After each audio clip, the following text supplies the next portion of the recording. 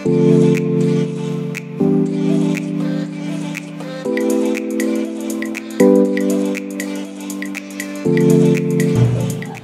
hi guys, uh, we are going to have a little interview with uh, international student from India. Can you please introduce yourself and tell me about yourself?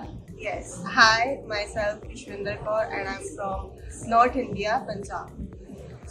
Can yes, you and right now I'm majoring in business analytics.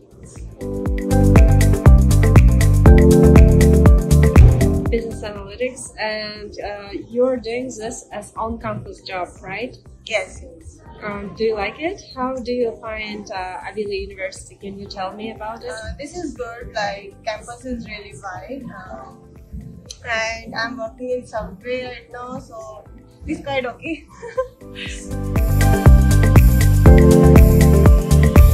Uh, do you like studying in Avila University? yes. What is your favorite subject? Uh, statistics. Statistics. yeah. Uh, what is a good piece of advice you will give to a new student uh, coming from India? Uh, to be free, to don't be worry about anything, and uh, just be yourself.